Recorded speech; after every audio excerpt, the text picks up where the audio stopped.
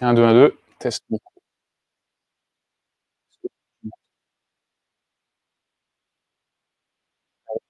Si, c'est bon Ok. Let's go, je traîne pas. Hop. Euh, donc. Euh, je m'appelle Alan Duchesne, je suis consultant chez Zenica, vous l'aurez compris. Euh, j'ai la lourde tâche de vous parler de Postman en 30 minutes sur un talk qui initialement dure 50 minutes, donc euh, on va voir jusqu'où je peux aller. Et sans plus de furiture, on va passer directement dans l'interface de Postman. Déjà, est-ce que quelqu'un n'a jamais vu l'interface de Postman N'a jamais ouvert Postman? Personne? Une personne. Ok, ça marche. Alors, premier contexte, euh, là j'ai une API euh, qui tourne en local sur mon poste et euh, qui me permet de jouer avec des dinosaures. Euh, à la base, j'ai joué, cette- joué ce talk-là au Brest Camp et le thème était le Jurassique, donc vous allez voir beaucoup de choses avec Buzz l'éclair, Beyond Infinity, et des choses sur les dinosaures. Voilà, premier contexte. Cette API web et tous mes services sont accessibles via des requêtes HTTP. Chacun de mes endpoints sont sécurisés via le biais euh, d'une pièce d'identité qui est un token. Et euh, pour ça, j'appelle un serveur d'autorisation pour récupérer un token et l'appeler. Deuxième contexte, euh, je suis actuellement sur le client lourd Postman, il y a une version web. Là, je suis sur le client lourd. Et je suis connecté avec euh, Buzz l'éclair. Et euh, tout ce que je vais vous faire comme démonstration, ça va être des fonctionnalités qui sont euh, de la version euh, gratuite de Postman. Donc, il y a des versions payantes, mais euh, comme ça, si vous êtes chaud ce soir, vous pouvez directement essayer à la maison pour, pour vous amuser. Donc ça, c'est OK pour le contexte. Et ensuite, on va pouvoir passer euh, bah, un peu à la base de Postman. Qu'est-ce que c'est? Cet outil-là, bah, ça permet, euh, dans un premier lieu, d'exécuter des requêtes HTTP. Donc la première requête HTTP que je vais faire, c'est ce que je vous disais tout à l'heure, à savoir requêter mon serveur d'autorisation pour récupérer mon token. Donc là, je mets euh, l'endpoint de mon service, je choisis le verbe HTTP euh, que je veux utiliser, donc là c'est un post, je clique sur Send, et dans la partie du bas, je vais agrandir un petit peu, on voit la réponse à l'appel de, de mon service. Donc là j'ai un code HTTP 200 qui me dit OK, et je trouve un token dans ma réponse qui va me permettre d'appeler mon API qui est en local, exposé sur le port 3010. Ici, je peux transmettre une autorisation, je choisis un type d'autorisation, donc moi je, fonctionne avec des tokens, donc je passe ici, j'appelle mon API, et là j'ai la réponse, ici j'essaie euh, d'observer tous les dinosaures, donc ça me renvoie une liste de dinosaures. Pour l'instant il n'y a rien dedans, donc c'est pas très impressionnant, ça, va venir. Euh, j'ai une réponse de 100 avec un tableau. Ensuite, je peux appeler un autre, euh, un autre service qui me permet ici de créer un dinosaure. Pour créer un dinosaure, j'utilise un post et je vais euh, transmettre un body. Donc euh, le body, euh, je peux le renseigner dans l'onglet body qui est là. Est-ce que vous voyez assez bien Ici, ouais, ça va. Sinon, je peux encore un petit peu zoomer. Et je transmets un body qui est un JSON qui va respecter le contrat d'interface de mon API. Donc moi, je dis que j'ai un slug ou un identifiant, un prénom, un nom pour mon dinosaure et quelque chose qui n'est pas très bien nommé, je vous l'accorde, mais un nom, on va dire un nom scientifique. Je mets ici le token, tout est sécurisé, j'envoie, là euh, j'ai créé un dinosaure. Ça c'est un peu pour euh, la base de Postman. J'ai la réponse ici et le contrat d'interface sur ma réponse ne renvoie pas un slug mais euh, un, ID dans mon JSON, le prénom, le nom de famille et le nom scientifique que j'ai demandé dans mon body. Ce qu'on vient de voir, c'est qu'avec Postman, on pouvait facilement créer des requêtes, exécuter des requêtes, euh, transmettre de l'autorisation dans l'appel de nos requêtes quand on va en avoir besoin. Donc là, j'en avais besoin. Et observer les réponses. Première question du talk que je vais vous poser souvent, c'est est-ce que quelqu'un a appris quelque chose sur cette partie-là? Normalement, il n'y a pas beaucoup de mains levées, hormis peut-être la personne qui n'avait jamais ouvert l'interface de Postman. Personne? Parfait, allons plus loin. Dans Postman, il y a une notion qui s'appelle les variables. Euh, comme euh, ceux qui font du dev peuvent avoir un peu l'habitude, les variables. Ici, ça va nous permettre d'éviter de répéter des choses. Donc je vais pouvoir stocker des informations et les réutiliser ailleurs. Par exemple, ici, on retrouve dans ma requête de lecture de tous mes dinosaures, de création des dinosaures et de suppression de dinosaures, on retrouve une base qui, euh, quand même se ressemble pas mal. Donc ce serait pas mal, si jamais moi je décide d'exposer mon API sur un autre port, 3011 par exemple, bah, je vais devoir me taper toutes les requêtes, les modifier à la main. Donc ce qui serait cool, c'est de transformer ça en variable et de la réutiliser directement et de l'avoir à le changer seulement à un endroit. Dans Postman, pour faire ça, on peut utiliser un template moustache et euh, je vais l'appeler URL. Si je vais au survol ici, ça me dit bah euh, j'arrive pas à résoudre ta variable parce que lui, il la connaît pas. Donc je peux cliquer sur ajouter une nouvelle variable, je colle ma valeur et ici il va me demander un scope. Alors qu'est-ce que c'est? Un scope C'est euh, la portée, la visibilité de cette variable. Je ne vais pas forcément avoir accès à cette variable partout dans mon application. Si je choisis global, bah là, là, je vais avoir accès partout. C'est-à-dire que dans tous mes dossiers qui sont rangés sur le côté, je reviendrai un peu euh, sur ce que, sont ces dossiers très rapidement, et eh ben, euh, je vais pouvoir y avoir accès dans toutes les requêtes de tous mes dossiers. L'environnement local, ici, dans Postman, on a la possibilité de choisir un environnement en haut pour me dire, euh, bah là en ce moment je travaille sur mon API en local par exemple. Donc je vais avoir des, variables qui vont correspondre à mon environnement local. Typiquement, cette donnée d'infrastructure, localhost, j'ai envie de la mettre dedans. Et si je vais travailler euh, dans un autre environnement, comme la qualification, la pré-production, la production, bah, je vais avoir des valeurs différentes. Et je peux aussi choisir un dernier scope qui s'appelle le scope collection, qui est euh, ce dossier là dont je vous parlais tout à l'heure et qui organise euh, mes requêtes. Donc ici, comme je l'ai dit, c'est une valeur plutôt infra, je vais avoir envie, je vais avoir envie de la mettre là-dedans. Je fais ajouter. Si je vais au survol maintenant, allez. Euh, il me dit, bah voilà, maintenant je connais ta variable, voilà sa valeur en cours, et euh, son scope est environnement. Si je veux regarder mes, mes valeurs d'environnement, mes valeurs de variables d'environnement, je peux aller ici pour regarder un, pour avoir un coup d'œil rapide. Et si je clique sur éditer, on va les voir un petit peu mieux, on voit tout un ensemble de variables que j'ai déjà préparées pour les besoins de la présentation. Et on retrouve en bas bah, cette URL avec euh, la variable, la valeur dont je viens de la valoriser. Donc je peux, la supprimer, s'il veut bien me laisser faire, au survol. Donc là je, la, là, je la vire. Je peux en créer une nouvelle et les mettre à la main euh, d'une façon différente de ce que je viens de faire juste avant. Et je peux aussi choisir un type sur cette variable. Donc là-dedans, il y en a deux. Il y a le, type default et le type secret.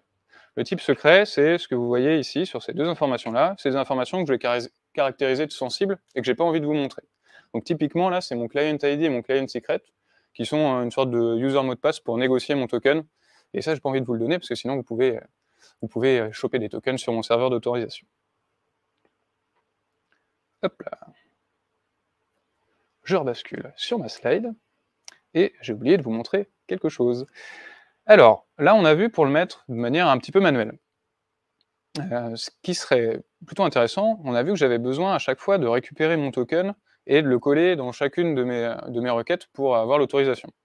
Bon, ça c'est c'est chiant parce que c'est rébarbatif et on a, pas, on a envie d'automatiser ça. Si je le fais en mode manuel comme je viens de le faire, eh ben, euh, quand mon token, quand sa durée de vie va être terminée, et eh ben, je vais devoir le refaire. Et je vais devoir à chaque fois quand même euh, resetter cette nouvelle valeur-là. Alors ce que je peux faire, c'est le faire de manière euh, automatique, de manière programmatique. Si je vais ici, j'ai un onglet qui s'appelle Test, et euh, je reviendrai un peu sur le détail de cet onglet-là par la suite de la presse, mais en gros, c'est du code JavaScript qui va être exécuté une fois que je vais, avoir la, que je vais recevoir la réponse à ma requête. Donc là, si j'exécute ça, je lui dis là-dedans, euh, va me chercher dans ma réponse la réponse que je peux récupérer grâce à cet objet-là. PM pour Postman, qui est un objet Postman fourni par l'environnement Postman et qui nous permet de faire plein de choses. Là, je m'en sers pour aller lire ma réponse et je m'en sers ici pour aller stocker une variable d'environnement dans mes variables de collection. C'est le dernier scope que je vous ai montré tout à l'heure. Je l'appelle token et je vais aller stocker la valeur de ma propriété access token de ma réponse. Donc là, je l'ai exécuté. Normalement, il est passé là-dedans. Et si je clique sur ma collection ici, et que je vais dans la partie variable, bah, je retrouve cette valeur token qui a été valorisée avec l'information euh, euh, que j'ai mis dans mon script. Cette fois, je reviens sur mon slide, j'ai fini. Donc là, on vient de voir avec euh, les variables qu'il y avait différents scopes, global, environnement, collection, qu'elles pouvaient avoir deux types, default ou secret, que je pouvais les setter de manière manuelle ou alors programmatique grâce à l'objet PM. Une nouvelle fois la question, est-ce que quelqu'un a appris quelque chose sur cette partie-là? J'ai des nouvelles mains. Cool J'en ai encore qui sont en bas, ça arrive. Hop. Je vais fermer. Euh, je vais fermer toutes ces requêtes-là qui nous intéressent plus.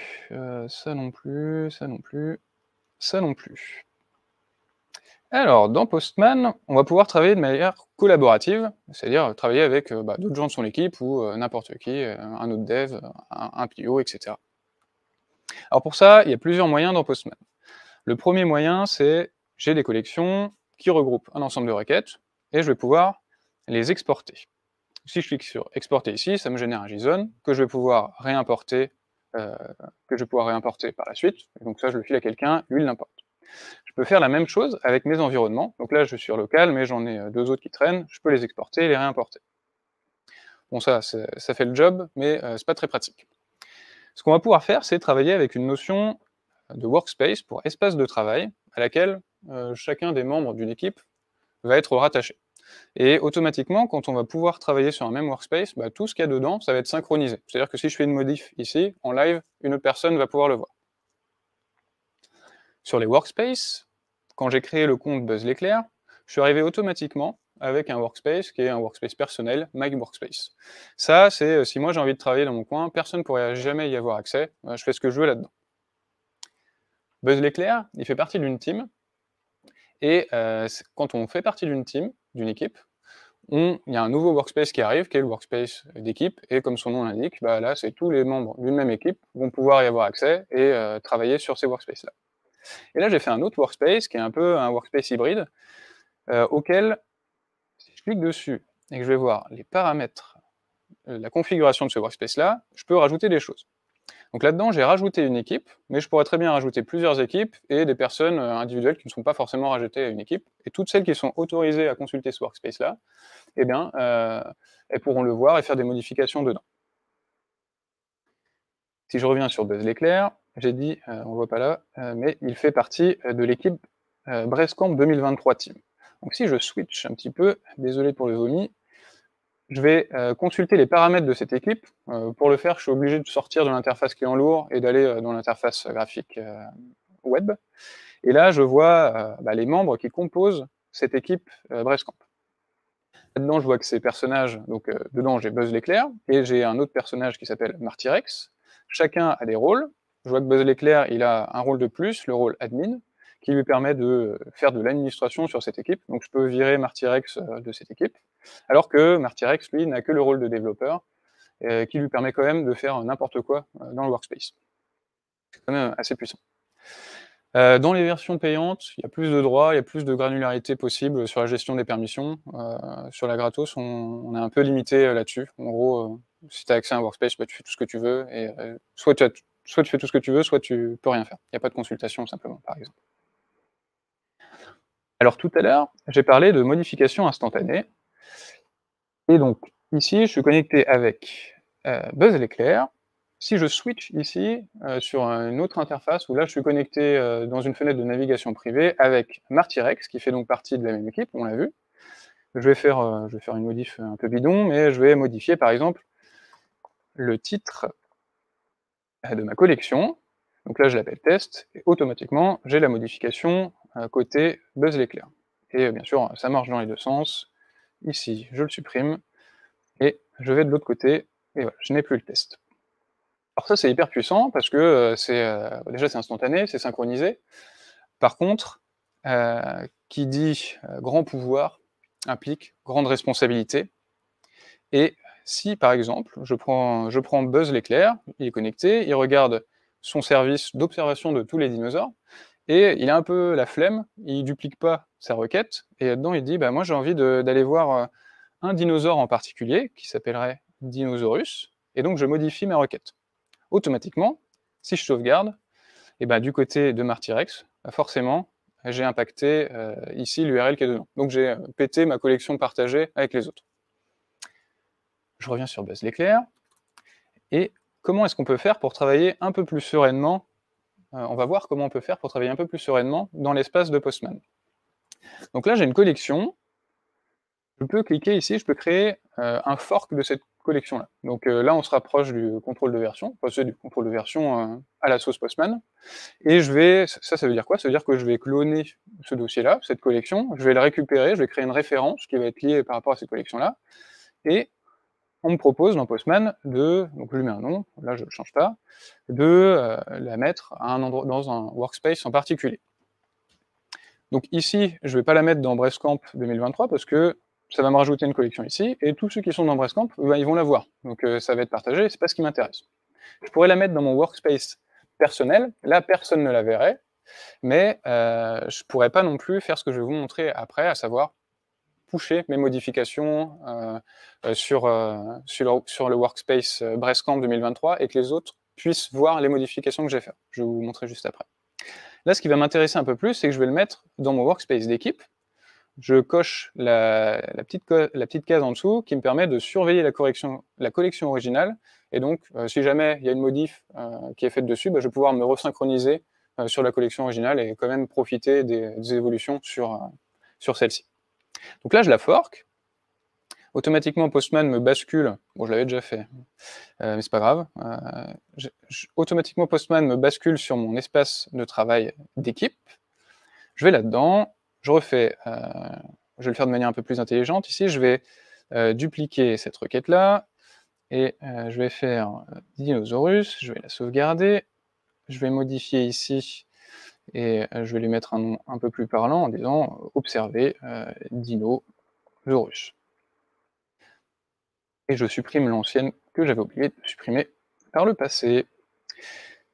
Si je vais côté Martyrex pour regarder, qui est toujours sur le, workspace Brestcamp, bah on voit que celle-ci, elle n'a pas été touchée, forcément, parce que c'est une copie et je suis en train de travailler sur l'autre. Mais euh, si je vais dans Team Workspace, là, je pourrais la voir. là, c'est pas important. Donc là, j'ai fait une nouvelle requête me dis, ah bah c'est pas mal, ça, ça va permettre, euh, ça peut, ça peut être intéressant, pas seulement pour moi, pas seulement pour mon équipe, mais pour euh, tous ceux qui travaillent au sein de la collection originelle qui est Brestcamp, euh, enfin qui, qui, est dans l'espace de travail Brestcamp 2023. Donc je vais avoir envie de la partager avec des gens. Alors, si je vais,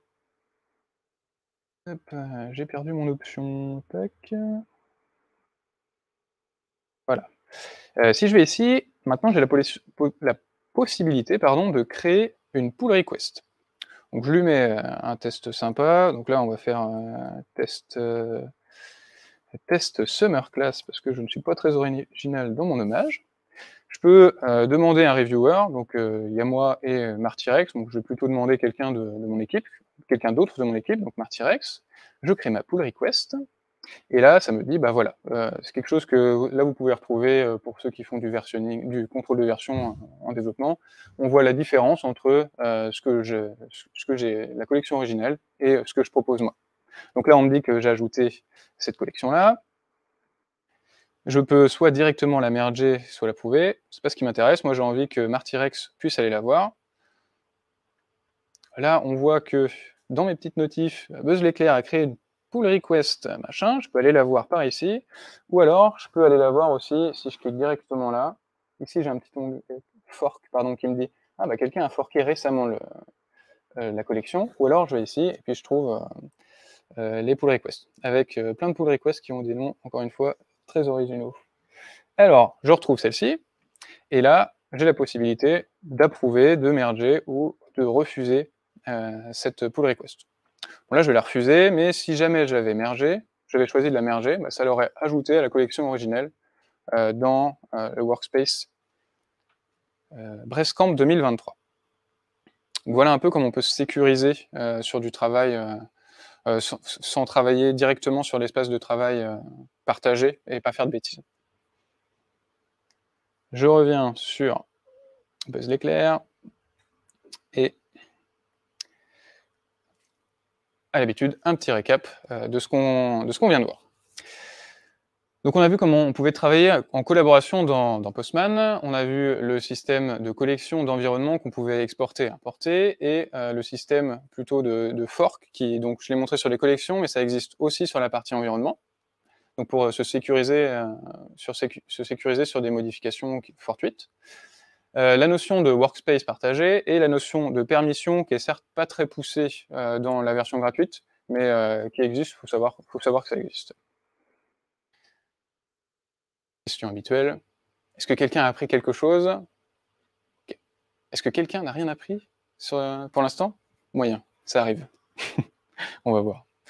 Alors, je vais le montrer rapidement ça parce que je pense que j'aurai pas trop le temps. J'espère que ce n'est pas la partie qui vous intéresse le plus, mais heu, si, heu, besoin, on pourra en parler après après les talks, il y a pas de souci. Je reste là. Dans Postman, en plus de l'exécution de requêtes, on va pouvoir, heu, directement faire de la spécification d'API. Donc soit je crée, soit je crée une API comme ça, avec un petit plus là. Donc là, j'ai switché sur le menu, API. Si vous l'avez pas de base, c'est normal. Soit dans les workspace settings, quand on crée, heu, quand on se connecte avec un compte, heu, tout n'est pas activé par défaut et je crois que API n'est pas coché. Donc ça masque simplement le menu sur le côté. Donc vous pouvez l'activer comme ça ou en cliquant sur ce bouton-là. Ici, je viens de créer une nouvelle API. Si je vais côté Martyrex, je retrouve cette nouvelle API-là. Si je fais des modifications dedans, que je rajoute une spécification, et cetera, là, tout va être synchronisé comme on l'a vu avec les collections et les environnements. En revanche, ici, on a une collection pardon, une API qui est un petit peu différente et qui a un sigle ici, heu, qui s'apparente à du contrôle de version. Mon API là, elle a est connectée à un repository directement sur, heu, GitHub. Bon, ça pourrait être GitLab ou autre, mais voilà. Heu, là, elle est directement synchronisée dessus et si je veux faire des, des évolutions, des propositions d'amélioration ou des corrections, je vais devoir forcément passer par le biais de merge requests, heu, qui cette fois ne seront pas les mêmes merge requests qu'on a vus avant, qui étaient plutôt un système intégré à Postman, mais par des vrais merge requests qui vont être poussés, heu, sur GitLab et là je vais pouvoir, gérer, ma diff comme ça. Donc si je vais très, très vite là-dessus, je fais une modif, dans ma spécification d'API qui est là. Heu, on voit en dessous que je suis sur, heu, actuellement connecté sur la branche main. Je peux cliquer sur View Changes. Je vais là-dedans. On voit que, heu, j'ai changé ce fichier qui est là et là, je peux soit commit et push directement sur la branche principale ou créer une nouvelle branche et lui donner un nom de branche, donner un commit et après j'aurai la possibilité de créer une pull request que je partagerai plutôt, de la façon dont vous avez, éventuellement l'habitude si vous êtes, développeur. Et donc là, Martyrex pour aller sur GitHub, regarder, merger et on peut ensuite, heu, repooler. Donc là, j'ai pas de diff par rapport à ma branche principale, mais je pourrais, heu, repooler si éventuellement il y a quelque chose qui a été mergé.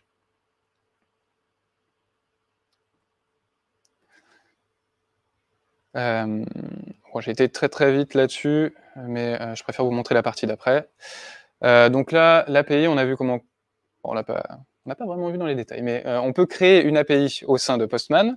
Heu, on peut ajouter des éléments, heu, dans Postman. Ça, je vous l'ai pas montré, heu, mais ajouter des éléments à une API, ça veut dire quoi? Ça veut dire, en plus de la spécification, je vais pouvoir créer des collections et je vais pouvoir la créer surtout à partir de la spécification que j'ai déjà faite. C'est-à-dire que je décris 2 URL dans ma spécification d'API, lecture de tous les dinosaures, lecture d'un dinosaure et automatiquement, il va me créer une collection avec ces 2 routes-là et toutes les réponses possibles que j'ai pu, heu, écrire dans ma spécification d'API et ça me fait, heu, ça me fait gagner du temps sur la création, d'une collection et de requêtes. Il y a la possibilité de faire du contrôle de version, via le principe de merge request, déporté en dehors de Postman.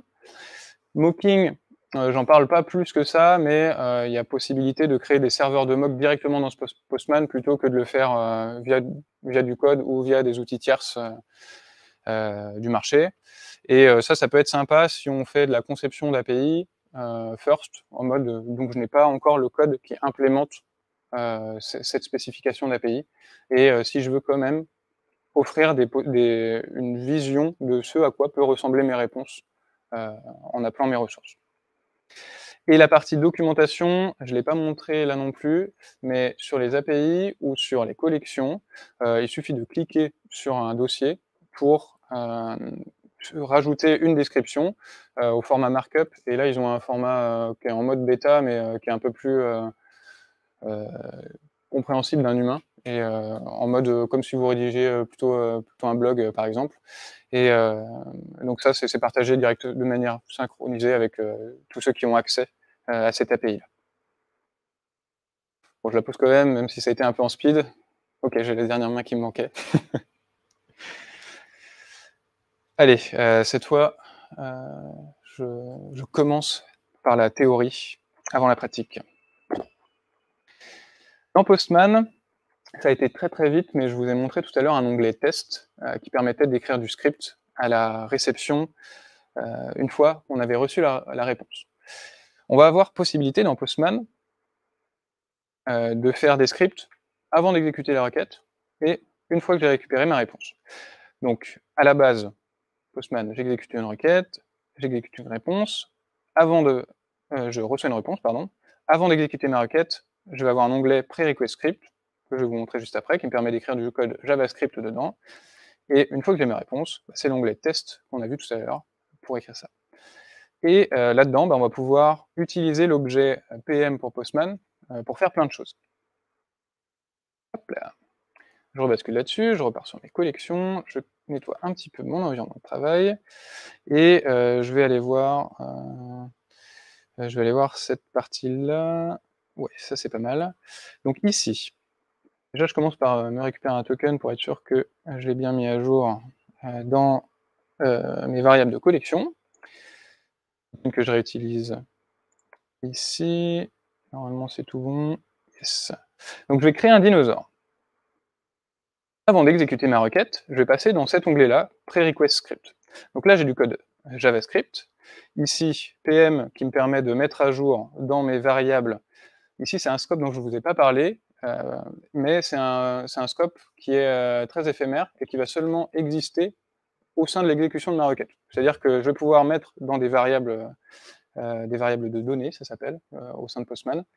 Je vais pouvoir créer des variables et directement après, elles seront détruites et ça ne polluera pas mon espace de travail. Ici, je les mets dans les variables d'environnement. Par rapport à ce que je vous ai dit au début, bah, c'est pas bien du tout de mettre, par exemple, un nom là-dedans, mais pour la démo, je vais vous montrer un petit truc euh, là-dessus. Ensuite, là, je fais un peu plus de JavaScript euh, dont euh, les développeurs JS ont l'habitude. je vais aller, enfin, pas du tout en fait, parce que là, j'utilise PM pour aller lire dans ma variable first name, dans ma variable locale. ici, je vais aller lire last name dans ma variable d'environnement. Je récupère ces, ces variables JavaScript je crée un nom pour le nom scientifique, qui est la concaténation du prénom et du nom, et euh, je vais aller stocker dans les variables locales ce nom-là. Ensuite, je fais un petit console log, qu'on va regarder juste après. Ici, il y a la possibilité, je clear ça,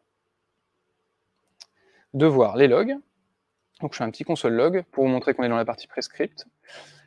Une fois que je serai passé là-dedans, je vais avoir des variables qui sont à disposition, et pour créer mon body, ben, je, vais le faire, de manière un peu plus euh, dynamique que tout à l'heure, avec les variables que je viens de créer dans la partie prerequest script.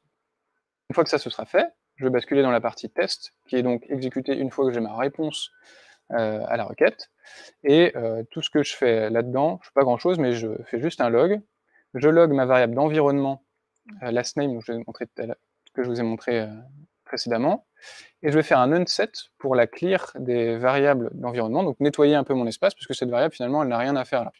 C'est vraiment pour l'exemple, ça sert à rien de faire ça, de faire ça en soi, mais c'est pour montrer. Donc je, nettoie la variable d'environnement, et je vais essayer d'y accéder à nouveau, et simplement pour vous montrer qu'elle est bien nettoyée. Donc j'exécute, je commence par passer dans la partie prerequest script, j'ai mon log prerequest script en dessous, qui me log euh, la variable que je viens de créer ici JavaScript, et ici la variable euh, Postman. Donc là j'ai la même, c'est logique. Ici, un log qu'on retrouve à chaque fois qu'on exécute une requête dans Postman, c'est euh, l'appel à ma requête et la réponse qui est dedans. Je ne rentre pas dans les détails de celui-ci. Et ensuite, on retrouve ce qui a été exécuté dans la partie TestScript, le nom de famille ici dans les variables d'environnement, et euh, je la nettoie et ensuite elle est undefined. Hop. Je ne pose plus la question. Cette partie-là, elle est un peu plus connue en général euh, des devs qui utilisent Postman, parce que ça permet de faire, entre autres, des tests. Et euh, on va voir comment on peut faire des tests avec Postman. tac, euh, je vais plutôt partir directement sur la partie test fonctionnel. Donc ici, je me suis créé une collection euh, où j'ai organisé des, des, scénarios par dossier. Donc on peut créer des dossiers, imbriquer des dossiers dans Postman. Ici, je commence par mon scénario de récupération, enfin d'obtention de l'authentification, donc je vais chercher juste un token. Après, j'ai un scénario qui s'appelle météorite, où j'ai une météorite qui s'écrase sur la Terre et qui détruit tous les dinosaures. Je vais aller observer les dinosaures une fois que tout est détruit et je peux vérifier des choses dans la partie test. Donc là, je peux coder des tests. Postman euh, nous offre euh, la possibilité d'organiser nos tests de cette façon-là, donc avec un pm.test. Et après, euh, dans l'objet PM, ben, on peut checker plein de choses. On va pouvoir tester principalement notre réponse, voir nos, vérifier via le biais d'assertion euh, si par exemple le, code HTTP est bien celui auquel on s'attend. Donc là, euh, sur une lecture, je m'attends à avoir un 200. Euh, je m'attends à avoir une longueur, je m'attends à avoir un, tableau vide parce que j'ai tué tous les dinosaures avant. Et dans la suite de mes tests, bah, je fais l'apparition des dinosaures et je vais faire naître des dinosaures. Je vais aller voir tous les dinosaures et là, bah, je, vais, je, fais, je fais naître deux dinosaures. Donc je m'attends à ce que mon tableau contienne deux dinosaures. On peut faire plein de tests euh, dans Postman euh, dans, cette partie-là. Il y a possibilité de faire plein de choses. Je peux vérifier, euh, je peux faire du contract testing en vérifiant que je récupère bien telle ou telle propriété d'un JSON. Je peux vérifier son type. donc là, je l'ai fait un petit peu en mode, on va dire, manuel, unitaire, où je vais chercher chacun des éléments comme ça, mais il y a possibilité de créer des schémas directement et de dire, bah, dans mon JSON, je m'attends à avoir un, first name qui va être obligatoire, avec euh, qui a tel type, etc., etc. Une fois que j'ai une collection avec euh, des tests, je peux, si je clique sur cette collection-là, l'exécuter via le bouton Run ici. Ça, ce que ça va faire, ça va simplement me jouer toutes les requêtes qui sont dedans, tous les dossiers, toutes les requêtes dans tous les dossiers, etc., dans l'ordre, et je lui donne un certain nombre d'itérations. Donc là, euh, je vais la jouer une seule fois, je vais l'exécuter, et euh, ce qu'on retrouve ici, je remonte un petit peu, on voit toutes mes requêtes et on voit surtout tous les tests qui sont joués. Donc je les détaille pas un par un, mais euh, ça c'est hyper pratique par exemple pour faire des tests de non-régression. Donc je peux lancer mes. Euh, donc là c'est là j'ai exécuté ma collection en mode dans Postman, mais je peux aussi l'exécuter. ce qui est pratique, c'est dans une CI par exemple, et soit avec euh, Postman CLI, donc euh, une, interface en ligne de commande Postman, et une autre interface en ligne de commande qui s'appelle Newman, qui est un peu plus vieille. Et euh, si vous voulez avoir la différence entre les deux, on verra ça juste après, si ça vous intéresse. Donc là, j'ai exécuté toutes mes requêtes. C'est plutôt du test donc de, non-régression et qui va être ponctuel. Et depuis euh, la dernière version de Postman, maintenant, on a la possibilité de faire du test de performance. Donc là, ça, correspond à quoi? Ça veut dire que je vais aller agresser mon API et euh, tous, mes, tous mes endpoints, eh ben, je, vais, euh, je, vais je, vais, je, vais, les appeler énormément de fois et je vais voir bah, comment réagit mon API et si elle tient la charge. Donc là, je vais faire sur une minute, je vais faire 20 utilisateurs virtuels. Donc là, il y a 20 utilisateurs qui arrivent en parallèle et qui, bah, qui exécutent ma collection. Soit je le mets en mode fixe, c'est-à-dire tout le temps 20, soit je le mets en mode ramp up, c'est-à-dire euh, je pars de 0 et progressivement, pendant ma minute, je vais arriver jusqu'à 20 utilisateurs. Euh, je ne vais pas lancer celui-là ici, euh, j'en ai préparé un spécialement pour les tests de performance avec juste une requête, ça suffira pour la démo. Je le mets en mode performance exactement en fonction de ce que je viens de vous dire, et je le démarre. Là, il y a une interface euh, graphique qui va arriver avec euh, des courbes et qui, peut vous donner un rendu assez rapide de euh, bah, comment réagit votre API. ça, c'est pas encore disponible dans les interfaces en ligne de commande dont je vous ai parlé tout à l'heure, donc je ne peux pas le mettre directement dans sa CI pour vérifier bah, si mes tests de perf, c'est OK, si je n'ai rien cassé au moment où je développe une nouvelle feature. pour ça, vous pouvez utiliser bah, des librairies tierces, et il y a par exemple K6 entre autres, qui est une librairie pour faire des tests de perf, et euh, qui permet de faire ça de manière, euh, on va dire, relativement simple. Et l'avantage de cette librairie K6, c'est que on peut facilement, via un utilitaire, transformer une collection Postman en script K6 et euh, l'exécuter après dans une, dans une CI. Alors si on s'attarde deux minutes là-dessus, Là, par exemple, heu, on voit que, eh bah, elle a pas tenu la charge à un moment donné, heu, là, elle elle a dit, econ alors hop, econ reset, faut que j'essaie de pas bouger. Top errors, econ reset, ça veut dire qu'en gros, elle était sous l'eau et heu, j'ai pas réussi, à à joindre le service concerné. Parce que là, elle était un petit peu, elle s'est fait trop agresser. C'est cool parce que d'habitude, heu, ça passe. Donc là, c'est bien d'avoir une démo où il y a un truc qui marche pas. Donc là, il y a peut-être quelque chose à analyser ou, heu, tout simplement que, mon service, il est pas capable de tenir cette charge-là et après, c'est, bah, est-ce que j'ai vraiment besoin d'avoir ça en conditions réelles, ou pas? Et on prend les conditions les on prend des mesures en fonction de de ces résultats-là. Hop, je reviens là-dessus. Donc si, heu, donc là, on a vu comment faire un peu du test de non-régression ou du test fonctionnel, du test de charge dans Postman. On peut l'intégrer facilement dans, heu, une pipeline via des des, heu, des heu, externes, Postman CLI ou Newman pour la partie, run de collection et pour la partie, test de charge, pour l'instant, c'est pas possible, hormis en utilisant une librairie tierce, type K6. Je vous le montre pas là parce que j'ai pas le temps, mais heu, j'ai un repo avec des exemples de avec toutes les collections là et des exemples de scripts, heu, Newman et Postman CLI. Et on peut aussi éventuellement faire du test first, c'est-à-dire, heu, commencer par créer, heu, bah, heu, la la l'URL, qui n'est pas encore implémentée dans le code, coder les tests et heu, faire casser nos tests jusqu'à temps, heu, que l'implémentation arrive et heu, finisse par faire passer tous nos tests au vert. Est-ce que quelqu'un a appris quelque chose sur cette partie-là? Allez, bingo, jackpot.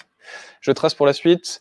Euh, pour aller encore plus loin, il y a d'autres fonctionnalités dans Postman, du monitoring qui permet d'exécuter des collections de, ma de, manière quotidienne et d'avoir des, euh, des, bilans euh, par email. Euh, Postman Flow, qui est une interface graphique, euh, donc là, j'ai pas encore joué avec, mais ça a l'air sympa, où on peut connecter différentes API entre, elles, euh, se servir des sorties de ces API-là pour alimenter une autre API via son entrée, faire des graphiques, ce genre de choses, ça a l'air sympa. aller plus loin, donc là, ça a été très vite, en 37 minutes, pardon, et, euh, mais il y a plein de notions euh, de Postman à creuser. Et là, je vous ai montré euh, bah, tous les cas passants qui m'arrangeaient bien de vous montrer. Mais euh, bah, comme partout, il y a des cas qui sont un peu plus sioux. C'est euh, toujours bien d'essayer et d'aller plus loin pour voir comment ça fonctionne vraiment. Et de comparer avec d'autres outils aussi. par exemple, j'ai perdu les noms, mais Hop, Hopscotch ou Insomnia, qui sont des outils du marché qui proposent euh, alors, pas autant de fonctionnalités de Postman, mais euh, si vous voulez vous, vous arrêter par exemple à, de l'exécution de requêtes et euh, du test directement dans l'interface, bah, ça peut suffire. Et ça permet d'aller donc moins de fonctionnalités, mais moins limité sur les parties gratuites de Postman. Par exemple, le partage, euh, le nombre de personnes dans une même équipe, c'est limité à 3, je crois, dans la version gratuite de Postman. Euh, et je crois que c'est moins limité dans les autres outils. Un résumé rapide, on a vu comment écrire et exécuter des requêtes dans Postman, comment on pouvait bénéficier, utiliser les variables euh, au, sein de, Postman, euh, comment collaborer et, euh, collaborer et travailler dans un workspace de manière intelligente sans, sans venir polluer ce workspace-là par rapport aux autres collaborateurs. On a vu hyper rapidement, mais il y a la possibilité de concevoir directement des API dans Postman la possibilité d'écrire des scripts euh, avant d'exécuter une requête et après euh, avoir reçu la réponse à cette requête, et euh, donc, de pouvoir faire des tests sur, en fonction de la réponse à l'exécution d'une requête. Et l'intégration qui est possible dans une pipeline, même si je ne vous l'ai pas prouvé ici. Faites-moi confiance. Bon, je ne la pose pas, c'est bon, je pense que vous avez compris. Quelques ressources là-dessus. Euh, je vous filerai les slides aussi, euh, vous pourrez regarder euh, à tête reposée, ou à chaud si vous êtes motivé. Il y a ce repo-là qui contient notamment les scripts Postman, enfin de, pour intégrer à la CI, Postman CLI Newman. Merci, désolé pour, pour le léger débordement. Voilà. Si vous avez des questions, bah, c'est le bon moment. N'hésitez pas. Je, si on a le temps pour les questions. Yes, vas-y. Heu, moi, ce qui me gênait, heu, avec, heu, Postman, j'ai regardé, heu, pour la l'aspect collaboratif, bon déjà il y a le Ouais. il y a le manuscrit parce que, heu, Ouais. il y a 3 développeurs, effectivement, c'est payant. Mais surtout, c'est, heu, où sont stockés les les, heu, les API. Heu, mh. tu as l'air de dire à un moment qu'on peut le mettre sur GitHub ou sur un GitLab, mais, heu, c'est Ouais. complètement on peut le mettre on-prem, heu, complètement ou pas? Alors, heu, la partie là, heu, je sais pas du tout, heu, pour la connexion, GitHub. Tu parles de Postman ou. Bah, c'est une bonne question, quelque part sur internet, quoi. Ouais, mais alors de de ce que j'ai vu, heu, je crois que tu es obligé de bosser en mode connecté, sinon tu as un seul truc qui est en mode, si tu cliques là, tu as un mode scratchpad qui est donc, déconnecté, mais, du coup, tu peux rien partager, avec les autres. Donc là, tu es obligé quelque part de de donner, les informations auxquelles normalement ils ne vont pas consu consulter, hein. C'est, restreint, en fonction des autorisations, heu, sur ton workspace et heu, si c'est quelque chose de très, très sensible, peut-être que ouais. En fait, on est parti sur un Sonia, heu, qui proposait le même fonctionnement mais OK. aussi un fonctionnement, purement on-prem avec un GitLab, enfin Ouais, d'accord. OK. Bah, à ma connaissance, ils ont pas ça. Peut-être parce qu'ils ont pas envie, Bah oui, mais oui, forcément, ça va donc ouais, bah, Insomnia, ce celui dont je parlais tout à l'heure, effectivement, si tu as un besoin comme ça, c'est peut-être mieux de basculer, heu, enfin de rester ou basculer sur cet outil-là. D'autres questions? On pourra voir après, hein, si vous voulez, heu si vous voulez voir ça plus tranquillement et du coup, bah, je rends l'antenne. Tac. Merci.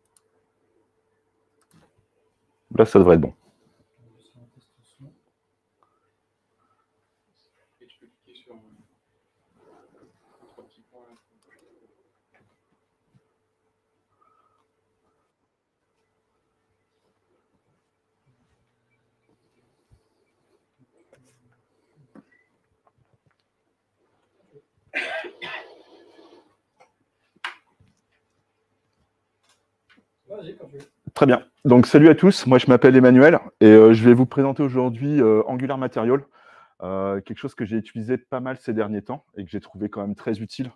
surtout que moi, je ne suis pas très très fan du CSS, alors même si maintenant un petit peu plus. Mais voilà, je voulais vous présenter un petit peu cet outil-là qui s'avère quand même très très utile au quotidien. Donc Angular Material, qu'est-ce que c'est? C'est en fait une librairie de CSS qui a été développée par Google. Euh, pour ceux qui font un peu d'Angular, en fait, c'est basé sur le CDK, le Component Development Kit. Et ça va rajouter, en fait, le CDK, c'est quelque chose qui nous est euh, fourni par, euh, par Angular, qui nous permet, en fait, d'avoir des, comportements JavaScript et TScript qui sont assez poussés. Et là, en fait, avec la librairie Angular Material, en fait, on va rajouter une couche un peu supplémentaire pour avoir du style, et notamment pas mal de classes CSS. Globalement, en fait, euh, la librairie, vous allez voir, elle va se présenter sous deux formes, avec des composants qu'on peut appeler simples, où on va tout simplement rajouter des directives dans, des éléments HTML qu'on a déjà euh, dans notre code, et des éléments plus complexes euh, qui sont véritablement des composants à part entière qui sont fournis par Angular Material. Le principal intérêt pour, pour Angular Material actuellement, c'est l'utilisation de l'accessibilité. de plus en plus, on parle de l'accessibilité en France. Euh, les grandes entreprises commencent à s'y intéresser parce qu'il y a des contraintes au niveau, euh, au niveau de la législation, avec le RG2A notamment. Et bah, vu que ça vient d'Amérique, eux, ils sont très très en avance là-dessus parce que justement, ces contraintes législatives, ça fait longtemps qu'ils les encaissent et du coup, ils sont très très en avance. Il faut savoir que par exemple, les sites d'e-commerce sont obligés, obligés d'être en, en, accessibilité pour toutes les personnes. Et donc, du coup, bah, nous, on rattrape un peu le retard en France. Là, vous avez globalement un des exemples un petit peu de, ce que peut faire Angular Material. Donc ça peut être tout simplement un habillage pour les boutons. Ça peut être aussi euh, des, petites, euh, des petits euh, badges qu'ils appellent ça. Et ça peut être carrément des choses un peu plus compliquées comme des date pickers notamment. Une autre chose qui est intéressante aussi, c'est que ben, Angular Materials, c'est un outil Angular qui est fait pour Angular. Il existe des choses qui peuvent. il a été adapté par exemple pour React, mais là où c'est intéressant, c'est qu'en fait, ben, du coup, il est supporté par l'équipe d'Angular et donc il s'assure un minimum de compatibilité avec le framework déjà. Pour installer Angular Materials, ce n'est pas très compliqué. Hein. c'est tout simplement, vous passez par NPM, vous faites un npm add euh, Angular Material et il va vous installer en fait la dernière version. Donc là, euh, dans la slide, euh, je vous ai présenté avec une version 13. Maintenant, on a la version 16 qui est sortie en début d'année. Je crois que c'est en mars. Et, donc, donc voilà. Globalement, quand vous allez faire l'installation, vous allez voir qu'il va vous proposer un certain nombre d'options. notamment le type de, thème que vous voulez en pré-build, c'est-à-dire il va vous pré en fait l'application et il va vous proposer en fait différents thèmes. Il va vous proposer aussi des choses comme l'animation, euh, inclure la typographie ou non, etc. etc. D'ailleurs, quand vous installez pour la première fois Angular Material, moi je vous conseille de sélectionner la version custom, euh, comme c'est indiqué ici.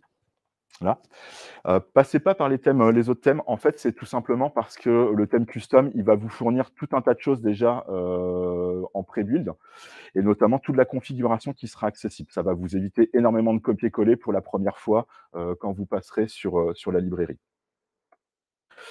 Ensuite, une fois que vous avez installé la librairie, il suffit de faire des imports et vous aurez donc du coup les disponibles à ce moment-là tous les classes et les composants qui sont affiliés à ces modules. Donc là, je vous ai donné un exemple avec la, version euh, Angular 14- avec euh, directement les imports dans les modules. Euh, Angular 15 a fourni maintenant une notion de composant autonome. C'est exactement le même fonctionnement. En fait, plutôt que de faire les imports dans les modules comme c'était le cas avant, il suffit directement de le faire dans les, dans les maintenant. Une chose quand même importante que je vous conseille vraiment pas de louper, c'est la notion de cache. On va falloir, il va falloir vraiment que vous désactiviez le cache quand vous installez euh, Angular Material pour la première fois et que vous êtes en train de développer dessus. Pour vous situer, c'est que euh, y a certaines fois, il va pas il va utiliser en fait le cache et finalement, bah, ce que vous avez codé, c'est pas ce qui va être rendu et vous allez avoir des décalages et des choses qui sont incompréhensibles. La première fois que moi je me suis rendu compte, c'est que je me suis rendu compte qu'en fait, mon NPM Start, mon ngServe fournissait pas du tout les mêmes écrans déjà, et c'était pas l'écran attendu que j'avais codé. Donc c'est un petit peu compliqué pour savoir où est-ce qu'on en est à ce moment-là. Avant de se lancer un petit peu dans, le code que je vais vous présenter, il faut quand même qu'on s'arrange un peu sur la nomenclature euh, de l'API. Donc, euh, Angular Material parle énormément de use. Les use, en fait, c'est un ensemble, enfin, c'est des clés valeurs qui permettent euh, d'avoir des codes couleurs qui sont indiqués ici. Donc là, vous avez par exemple la use numéro 50, ça c'est sa clé dans la, dans, la, dans la palette, et ça, c'est son numéro de valeur euh, exact tout simplement. Une fois que vous avez vos use, vous allez les regrouper dans des, dans des SAS maps que vous allez ensuite euh, créer, générer euh, enfin, sous forme de palette grâce à une, une instruction d'Angular Material. Et quand vous aurez des palettes, vous pourrez à ce moment-là créer votre thème. Donc le thème, c'est vraiment toute la notion de colorisation de votre application et toutes les couleurs auxquelles vous aurez accès. Là, j'ai mis euh, des choses en pointillé. Ce sont des choses qui sont facultatives. Globalement, euh, par défaut, Angular Material accepte euh, deux types de palettes, la primary et l'accent, qu'on appelle souvent aussi secondaire. Et on peut avoir éventuellement une troisième palette facultative qui s'appelle Warm. Il y a aussi la notion de typographie qui peut rentrer en compte. Là, c'est déjà, ce n'est pas le but du talk, je vous en parlerai très très peu sans doute. Vous pouvez directement l'inclure et avoir du coup des classes CSS qui vont s'appliquer euh, au H1, au H2, enfin ce genre de choses de votre application. Dans la pratique, je ne l'ai pas trouvé très très euh, malléable euh, au quotidien, mais ça vous permettra quand même, quand vous faites appel à la typographie, de pouvoir modifier certains composants indirectement. Notamment, il y a des classes CSS que vous pourrez avoir dans la typographie qui vont vous permettre de modifier le texte de vos composants. Là, vous avez des exemples de, palettes et de use. Donc, vous voyez, en fait, c'est tout simplement euh, un ensemble. Euh, là, vous avez par exemple la primary use. C'est un ensemble en fait de couleurs qui sont, euh, qui sont englobées ensemble, généralement par thème ou par type de couleur un peu, un peu similaire. Et vous pourrez en avoir jusqu'à trois là-dessus. Les clés, c'est vraiment ce que vous voulez. là, je vous ai donner un exemple avec donc Primary Light, des choses comme ça. Dans la pratique, vous verrez que euh, dans l'API, c'est présenté sous forme de numéros 100, 200, 300, 400. Je vous conseille de vraiment coller à ça. Je vous montrerai après pourquoi dans le code. Mais c'est utile parce qu'en fait, ce sont des valeurs par défaut que l'API va utiliser et ça vous évitera de surcharger en fait après ce genre de choses. Voilà. Donc là, maintenant, je vais repasser directement à l'IDE. La première chose que je vais vous faire, c'est un peu le tour du proprio. Euh, donc là, vous avez un projet que, que j'ai déjà prédéfini. Vous verrez que dans la pratique, bah, déjà, vous pourrez le retrouver sur GitHub. Et euh, là, du coup, ce que j'ai fait, c'est tout simplement installer une nouvelle application et ajouter du coup Angular Material euh, avec des petites choses en plus que j'ai, que j'ai rajoutées au niveau du style. Je vous montrerai ce que c'est exactement. Vous avez déjà ici, ligne 37, le SRC Styles. C'est globalement votre point d'entrée pour tout ce qui est le style de votre application. Déjà, je vous conseille de garder vraiment un seul, euh, un seul fichier par rapport à ça. Ça va vous permettre en fait de centraliser l'information et d'avoir quelque chose qui sera beaucoup plus simple à relire pour les personnes qui arriveront sur votre projet. Euh, comme ça, ça lui fait un point d'entrée unique pour euh, comprendre la notion, enfin comment s'organise en fait votre style d'application. Et du coup, bah, ça sera beaucoup plus simple parce qu'en fait, le fichier principal, c'est le style CSS qui est généré d'ailleurs par Angular Material quand on l'installe et ça vous permettra en fait d'avoir une ligne directrice quand vous allez relire le code et euh, prendre un peu en main l'application. La seule chose, moi, que je m'autorise un peu ici, c'est éventuellement rajouter les fontes. Les fontes, une fois qu'elles sont déclarées, généralement, euh, il n'y en a plus besoin. Donc, ce n'est pas la peine de surcharger le code principal. C'est tout à fait intéressant d'avoir, du coup, toutes les fontes que vous déclarez dans votre application. Vous pouvez directement le mettre ici. Ça pose généralement pas de problème pour la relecture. Je vous parle énormément du fichier style CSS. Voilà à quoi il ressemble. Donc vous verrez, hein, c'est très très similaire à ce qui est représenté dans la documentation officielle d'Angular, qui est plutôt pas mal faite d'ailleurs pour tout ce qui est euh, les bases et la configuration. Vous verrez qu'après, quand vous arrivez dans la modification de chaque composant, ce n'est pas toujours évident et ce n'est pas toujours bien documenté. Il faut aussi l'avoir un petit peu en main. Euh, donc du coup, voilà, vous avez donc euh, les imports qui se font de la ligne 1 à la ligne 8, là. vous avez donc du coup le principal, include Madcore, celui-là, c'est vraiment tout celui qui va contenir les CSS, le, CSS des composants et les directives que vous allez utiliser. L'important, c'est d'utiliser, comme il l'indique euh, là-dessus, c'est d'utiliser une seule fois par application. Vous l'importez une fois dans le fichier styles, il va être disponible partout derrière, et surtout, vous ne l'intégrez pas au niveau des composants. Sinon, vous allez avoir des bundles qui vont exploser. L'autre chose qui est importante aussi, c'est ligne 2. Euh, vous avez euh, un, import d'Angular Material qui va vous permettre en fait d'avoir un certain nombre de, méthodes qui sont fournies par Angular Material nativement et qui vont vous permettre un petit peu de modifier les composants et de pouvoir un petit peu avancer sur, euh, sur l'application. Ensuite, vous avez, moi je vous conseille aussi de rajouter ça. Alors ça, ce n'est pas du tout lié à Angular Material, la ligne 6. C'est une fonction SAS, mais c'est ce qui va nous permettre notamment de parcourir les, les, hum, les SAS maps que j'ai indiqué ici en primary use, second accent use, etc. Et c'est quelque chose d'assez pratique parce qu'en fait, vous allez pouvoir non seulement l'utiliser dans le fichier style CSS, mais vous allez pouvoir aussi l'utiliser au niveau des composants. Parce que vous allez voir que ben, finalement, là actuellement, toutes les informations sont centralisées dans le fichier style CSS. Mais si vous voulez après y accéder à l'extérieur de, votre application, eh ben, il va falloir en fait que vous passiez par des mixins. Or, ce n'est pas toujours ce que vous avez envie. Vous avez des fois envie de taper directement depuis le composant dans la palette de couleurs.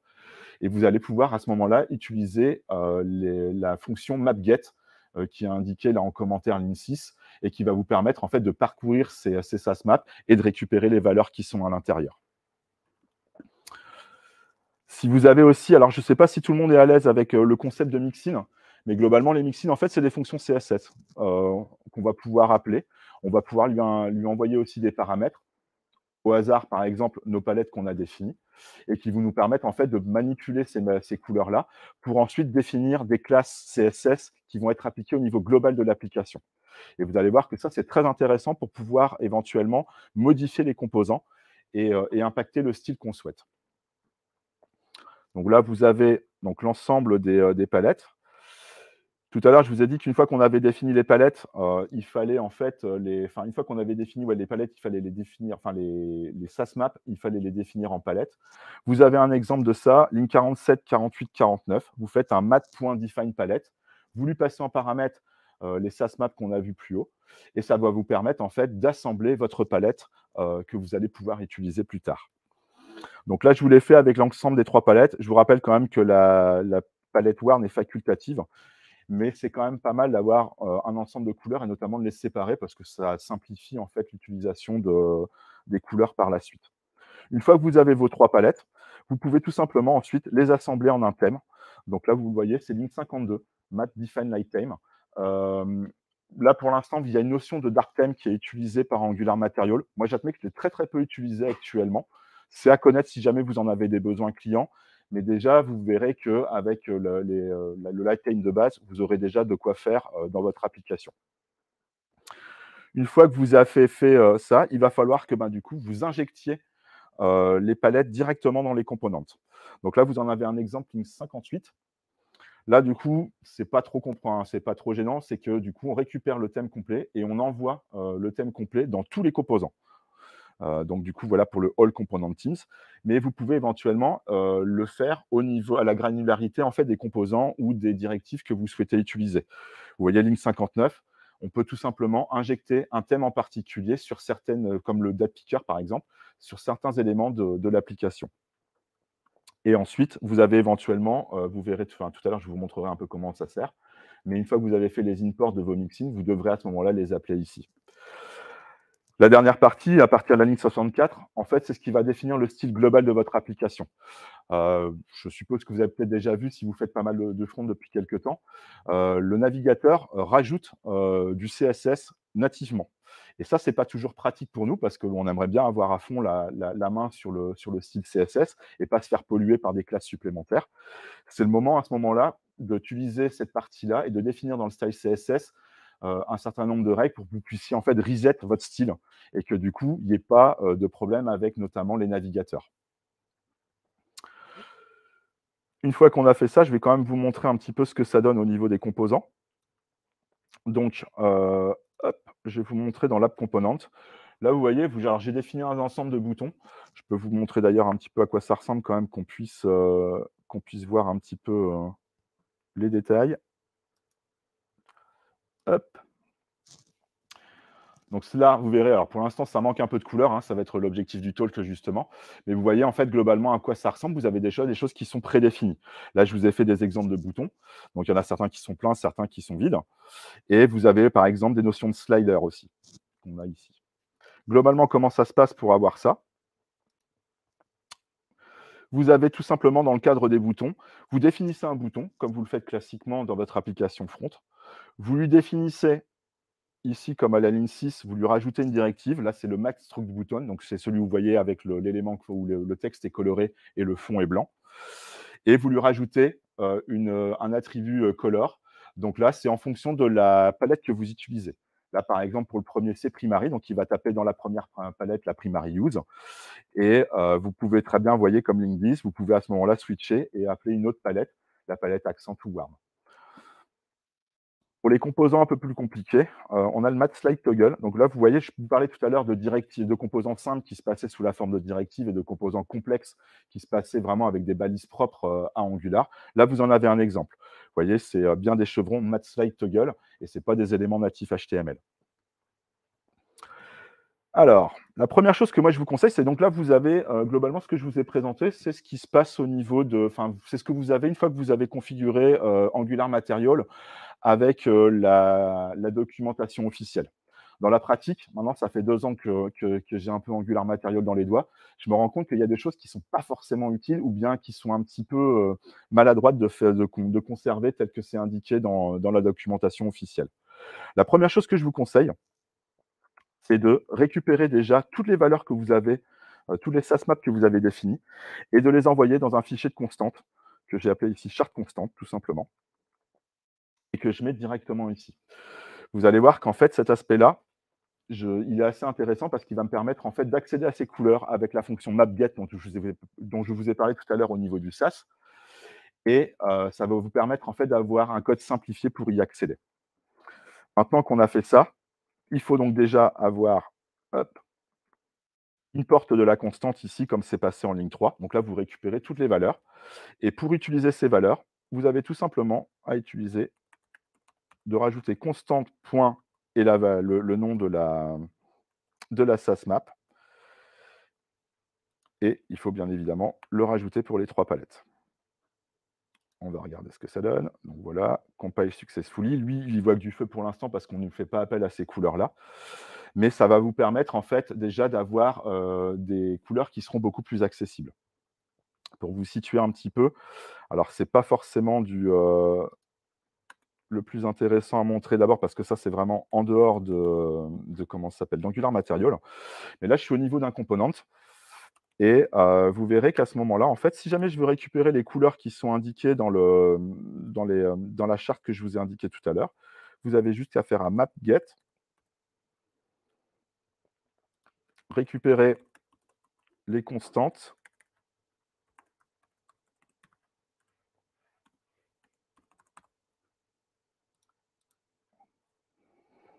Donc là, c'est tout simplement le nom de la palette. Et ensuite, vous rajoutez une virgule, vous êtes dans le, au niveau de la, de la palette et vous avez jusqu'à mettre la valeur qui est indiquée ici dans la charte constante. Donc là, par exemple, si j'ai envie de la coloriser en 600, on est bien dans la primary use, je fais virgule 600 et vous verrez qu'à ce moment-là, j'accède en fait directement aux valeurs qui sont indiquées dans la charte euh, dans, mon, dans mon composant ici. Donc ça, c'est assez pratique. Maintenant, euh, les boutons qui sont définis ici, en fait, euh, par défaut, ils prennent la couleur numéro 500 de la palette auquel ils sont liés. Donc là, vous voyez par exemple les deux premiers boutons, euh, là en dessous où il y a marqué Color Primary. En fait, ils utilisent la valeur 500 de la, de la charte graphique que j'ai définie pour les coloriser. hop. Vous voyez, en effet, le 500, il est bien en noir ici.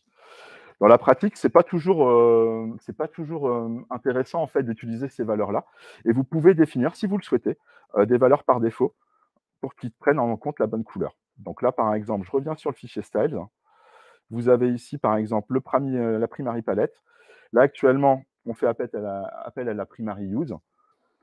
La première valeur par défaut, qui est facultative ici, vous pouvez très bien lui dire de prendre en fait cette valeur-là. Et vous allez voir qu'en fait, il va coloriser les boutons avec la valeur qui est indiquée dans la SAS map ici. Donc là, normalement, je devrais avoir des boutons qui sont en jaune. Voilà. Donc, vous voyez un peu ce que ça fait. Vous avez d'ailleurs, quand je vous parlais tout à l'heure de l'accessibilité, ça, c'est quelque chose qui est assez nouveau. C'est dans la version 15 du, euh, de la librairie. Euh, ils se sont posés énormément de questions par rapport hum, au contraste des couleurs. Et vous allez voir qu'en fait, la notion de là, pour, le premier bouton, par exemple, le texte se colorise en jaune parce que j'ai indiqué dans la valeur par défaut 500 qui correspond à la valeur jaune. Mais dans le deuxième bouton, c'est juste le fond qui est pris en compte. Par contre, le texte, c'est Angular Material qui va le gérer et qui va vous le mettre soit en noir, soit en blanc, en fonction du meilleur contraste possible pour vos utilisateurs qui sont malvoyants. Donc ça, c'est quand même intéressant. Si jamais après vous vous retrouvez un petit peu à manipuler ça, sachez qu'en tout cas, euh, vous avez déjà des choses qui sont préfaites là-dessus. Vous n'avez même pas besoin de penser la notion de contraste puisque en fait, il le pense à votre place. Maintenant, euh, on peut avoir quand même des comportements un peu plus importants euh, que notamment que les clients souhaitent. Et on peut avoir notamment la notion de d'event over, focus, des choses comme ça, on aimerait bien éventuellement coloriser les boutons comme on le souhaite. Là, vous avez tout simplement, au niveau du fichier style CSS, je vous ai dit tout à l'heure qu'on pouvait faire appel au mixin. Donc là, j'ai défini le mixin. On a juste qu'à faire l'import, à valider l'import ici. Ligne 25, une fois qu'on a euh, fait l'import, vous devez faire y, appel, enfin, y faire appel comme une, euh, comme une fonction classique. Donc là, pour l'instant, elle ne prendra pas de paramètres dans l'exemple, mais vous pouvez très bien lui définir euh, des thèmes ou bien des palettes spécifiques que vous pouvez lui envoyer juste à ce moment-là dans les paramètres de la, fonction. Et ensuite, vous avez tout simplement ici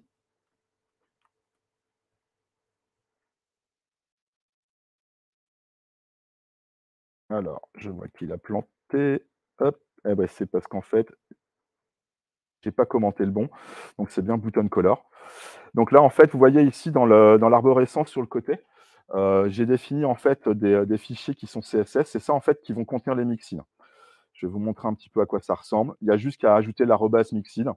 Vous lui définissez en fait à ce moment-là euh, le nom de la mixin que vous souhaitez utiliser. Et les classes que vous allez définir ici vont s'appliquer en global dans votre application. Et ça va vous permettre à ce moment-là déjà de surcharger euh, le style des composants matériels sans souci. Là, par exemple, le, bouton Madrace, vous verrez, c'est en fait l'un des boutons que j'ai défini tout à l'heure. Si jamais vous souhaitez en fait le modifier, vous avez juste qu'à rajouter Mat Primary. Donc ça, c'est la, vous verrez que très souvent en fait c'est la classe CSS qu'il utilise euh, pour coloriser en fait tous les éléments qui sont avec la, palette principale. Mais vous pourrez très bien faire mat accent ou des choses comme ça. Et si je veux qu'il prenne en compte le hover, par exemple, hop,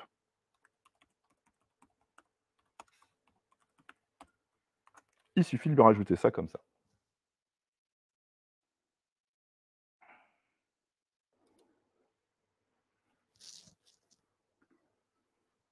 Et vous voyez qu'à ce moment-là, vous pouvez très bien définir un certain nombre de comportements de manière assez simple, en fait, parce que vous avez juste à rajouter des, euh, classes. Et en plus, ces classes-là vont s'appliquer d'une manière globale. Donc, c'est vraiment très utile. Une fois qu'elles sont définies, après, vous êtes tranquille. Euh, Ensuite, par contre, on a quand même des choses au niveau, par exemple, euh, de certains éléments qui sont un petit peu plus compliqués. notamment, je pense au slide au toggle les toggles, en fait, vous verrez, euh, et ça, c'est, on arrive un petit peu aux limites de la documentation officielle, c'est qu'en fait, les toggles, pour les modifier, vous allez devoir faire appel à des couleurs spécifiques de la, de la palette que je vous ai montré tout à l'heure. Par exemple, euh, et ça, c'est marqué malheureusement nulle part dans la documentation officielle, pour coloriser le rail euh, de, ce bouton-là, la notion de focus ou pas, et s'il a le focus, et eh bien, la couleur qu'il a à ce moment-là, la, couleur du tilde aussi. Ce sont des choses qui se mettent directement euh, au niveau de la, fonction map, de la SAS map qu'on a ici. Et en fait, je vais vous montrer, hop, les valeurs 300, 600 et 900, c'est ce qu'il ce qu'il utilise actuellement pour coloriser ça. Donc, une manière simple de toute manière de les, euh, de les, comment de les utiliser et de les surcharger. Vous avez tout simplement l'option de soit définir donc déjà les bonnes couleurs là-dessus, sauf que ce n'est pas toujours possible. Et dans ces cas-là, il faut que vous vous serviez de l'inspecteur qui va vous indiquer les classes CSS qu'il utilise là-dessus. Vous verrez qu'en fait, hop, alors, ne pas se tromper, hein, c'est bien au niveau du slide toggle ça se passe. Vous voyez, en fait, il vous définit un certain nombre de, constantes ici, enfin de, variables plutôt. Et c'est en fait ce qu'il utilise en interne pour coloriser le bouton. D'ailleurs, ici, alors que j'ai rien défini euh, au niveau du slide euh, color, c'est-à-dire que lui, il n'a pas de, color primary qui, euh, qui, est posé dessus, vous voyez qu'en fait, il a déjà une pré-couleur qui est utilisée. Et ça, en fait, c'est ce qui est utilisé de base par Material. Quand il ne sait pas quoi mettre, en fait, il utilise la valeur des, palettes Indigo, euh, euh, qui, sont des valeurs par palettes par défaut qu'Angular Material fournit. Et en fait, euh, il va s'en servir pour coloriser les, les, sliders, notamment quand il ne sait pas quoi faire. Un des intérêts là-dessus, c'est qu'à ce moment-là, vous devez définir les, les constantes, les redéfinir dans votre charte graphique ou bien dans une mixine. Donc là, dans le cas présent ici, vous voyez, je les ai redéfinis. Et pour y faire appel, c'est comme tout à l'heure, vous avez juste qu'à faire import ici. Vous faites appel à la mixine ensuite.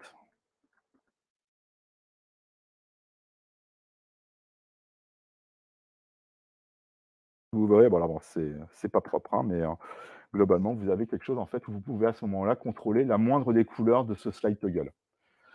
Un petit piège là-dessus, c'est au niveau de la charte du style quand il est défini. Hop, je vous le montre ici.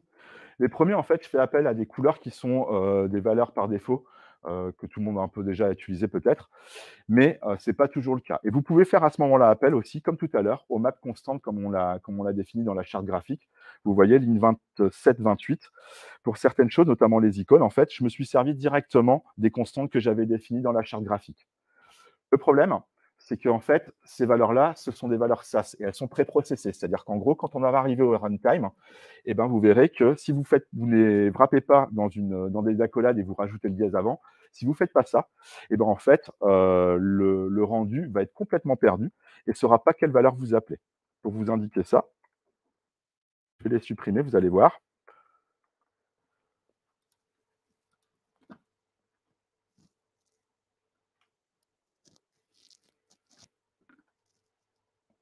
Hop. Hop, raté.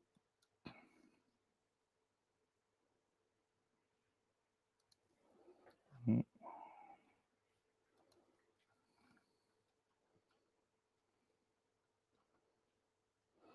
voyez, alors je ne sais pas, c'est pas très clair parce que c'est assez petit. Mais vous voyez ici, en fait, ça, c'était les constantes qu'on avait définies dans notre, euh, dans notre mixin. Donc, on voit bien qu'il fait bien le mapping hein, correctement, sauf sur celle-là. En fait, on se rend compte qu'il cherche une, couleur qui s'appelle mapget_constant.$primary_use, primary light. Autant vous dire qu'il est complètement perdu et que euh, bah, dans ces cas-là, vous devez les wrapper comme c'était euh, ligne 28 avec des accolades et des dièses pour que lui, à ce moment-là, quand les, les variables SAS sont préprocessées, eh ben, elles peuvent être utilisées quand même au runtime par le CSS. Voilà un petit peu comment ça se modifie euh, Angular Material. Je ne vais pas aller plus loin pour l'instant parce qu'après, ça dépendra vraiment des éléments que vous manipulez. Et, euh, ce n'est pas toujours la, même chose là-dessus. Mais sachez qu'en tout cas, l'inspecteur vous permet d'avoir énormément d'informations sur le contenu d'Angular Material et sur la manière dont il fonctionne en interne. Et il reste après toujours éventuellement d'aller sur Git pour voir un peu l'implémentation. Mais ce n'est pas toujours ce qu'il y a de plus simple. Et moi, j'ai trouvé que pour débuter, en tout cas, l'inspecteur, il avait été quand même très, très utile pour moi. Deux petites choses quand même, c'est que euh, Angular Material met à disposition une fonction, enfin un sélecteur qui s'appelle le ngDeep. l'ont peut-être déjà utilisé. En fait, globalement, le ngDeep, vous allez mettre ça devant une classe et il va impacter, euh, il va rendre les règles que vous avez définies, il va les rendre globales au niveau de votre application. Le faites pas, parce qu'en fait, c'est un coup à avoir énormément d'effets de bord là-dessus. Et surtout, c'est qu'en fait, vous ne respectez pas la philosophie d'Angular. Quand vous, avez un component de parent qui a du style et que vous définissez un certain nombre de classes, que ce component de parent, a des, un component d'enfant, vous attendez pas à ce que le style il cascade sur l'enfant, bien évidemment, parce qu'il y a l'encapsulation des vues. Et bien là, c'est la même chose avec Angular Material. C'est-à-dire que si jamais vous déclarez en fait des composants euh, dans, le, dans le composant parent, des composants matériels, et ben vous attendez, vous devriez pas vous attendre en fait à ce que ce, style se répercute sur les composants qui sont intégrés à ce component de parent. Donc, dans la pratique, ne le faites pas. Le plus simple, c'est tout simplement définir des, classes globales qui vont s'appliquer à toute votre application et à vous après d'avoir des bons sélecteurs pour que ça s'applique comme vous l'entendez.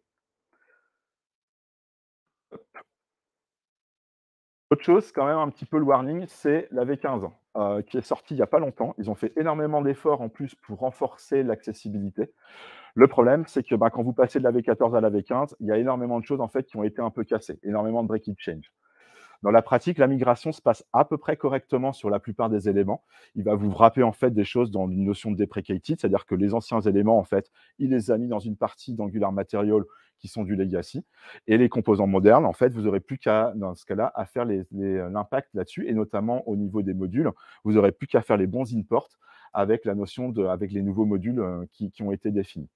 Le problème, c'est qu'en fait, les classes qui étaient définies en V14- euh, ne s'appliquent plus en V15+, parce qu'ils ont changé la convention de nommage. Et euh, il y a pas mal de choses qui sont à refaire en fait à la main directement. Et ça, c'est pas très pratique, même si très souvent, en fait, ils ont juste rajouté une notion de MDC euh, tirer quelque chose pour impacter les nouvelles, les nouvelles classes. Voilà. Donc, si je devais résumer, en tout cas, bah voilà, c'était un petit peu ça. Moi, en tout cas, quand j'utilise Angular Material, j'ai surtout trois credos. C'est les trois ici en dessous. C'est que bah, si je définis une couleur que j'utilise dans mon application, je l'utilise qu'une fois. La couleur, généralement, j'aime bien la définir en global. Et tout ce qui est la notion de spatial, la notion d'organisation, les margins, etc., bah, finalement, la plupart du temps, ce n'est pas très utile de les avoir en global parce que c'est plutôt au niveau des composantes qu'on est intéressé de les manipuler. Ça, des fois, vous pouvez avoir envie quand même d'avoir des règles un peu globales. Mais en règle générale, le spatial, j'aime bien le réserver au niveau des composants. Et surtout, n'oubliez pas de désactiver le cache pour éviter les mauvaises surprises. Voilà.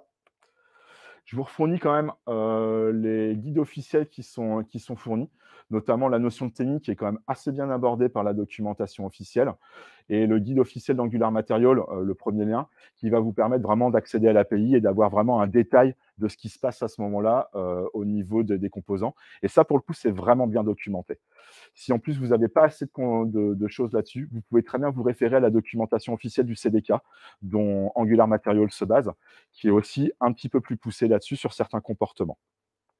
Et vous pouvez retrouver donc les exemples euh, sur mon GitHub. Donc n'hésitez pas hein, pour, euh, pour aller voir un petit peu ce genre de choses. Voilà. Merci beaucoup. Et je vous présente donc du coup quand même pour vous dire que, parce que très souvent c'est un peu le challenge au niveau d'Angular Material, c'est qu'on parle du picker comme étant quelque chose de très compliqué. Et très souvent j'entendais qu'il fallait absolument passer par le NGDeep. Là, vous avez la preuve qu'en fait, là, ça a été fait sans NGDeep. Euh, et euh, vous pouvez très bien modifier tout. Il suffit de vous servir de l'inspecteur. Merci à vous. Je ne sais pas si vous avez des questions par rapport à tout ça.